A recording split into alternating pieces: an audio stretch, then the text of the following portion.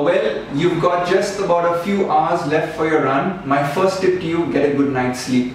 Well, thought process is don't overeat tonight. Have a moderate amount of rice or pasta. Have some protein in there. If you're a non-vegetarian, some fish or chicken is perfect. If you're an vegetarian, get one or two eggs in there. Don't worry about the yolk. You need to charge up your reserves and be ready for tomorrow. In addition to this, if you're a vegetarian, get some paneer. Okay, that's really good. Before going to sleep tonight, get some fiber foods. Uh, figs are my favorite.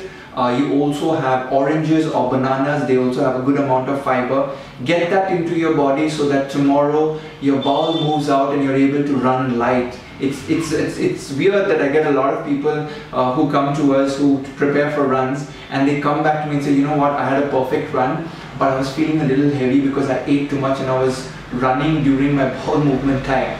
So get that fiber in so you're, you're hitting the loo at 4.30 in the morning. This is a crucial piece of advice for you to run light. Eat well, have a glass of milk. For those of you who can't sleep well, I've got the nerves, a glass of chamomile, warm chamomile tea or a glass of warm milk will work wonders for you. Happy running and happy sleeping.